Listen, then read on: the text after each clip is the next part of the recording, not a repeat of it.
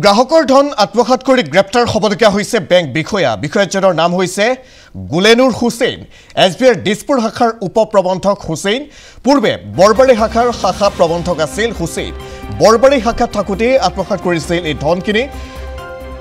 ভৱধৰ দত্ত নামৰ অৱসৰপ্ৰাপ্ত ডি আই জিৰ ধন আত্মসাত কৰিছিল। ছাব্বিছ লাখ টকা জালিয়াতিৰে আত্মসাত কৰাৰ অভিযোগ আছে। এই বেংক বিষয়াগৰাকীৰ বিৰুদ্ধে দিছপুৰ আৰক্ষীয়ে গ্ৰেপ্তাৰ কৰে। বেংক বিষয়াজনক হাটগাঁৱৰ ছাইন হেভেন এপাৰ্টমেণ্টৰ নিজা ফ্লেটৰ পৰা গ্ৰেপ্তাৰ কৰা হৈছে।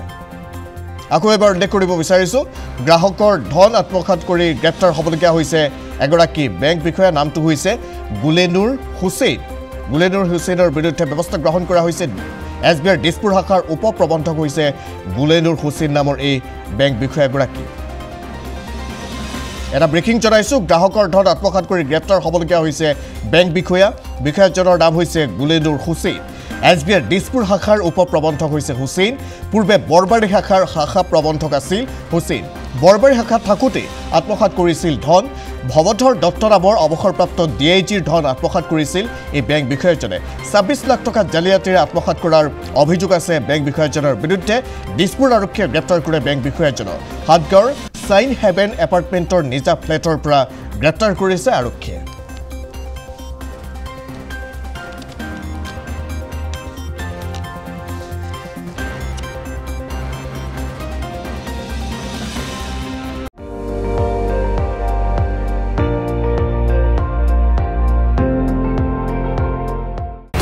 আপুনি চাই আছে এন ডি টুৱেণ্টি ফ'ৰ সৰ্বশ্ৰেষ্ঠ নহয় সৰ্বোত্তমৰ দৌৰত।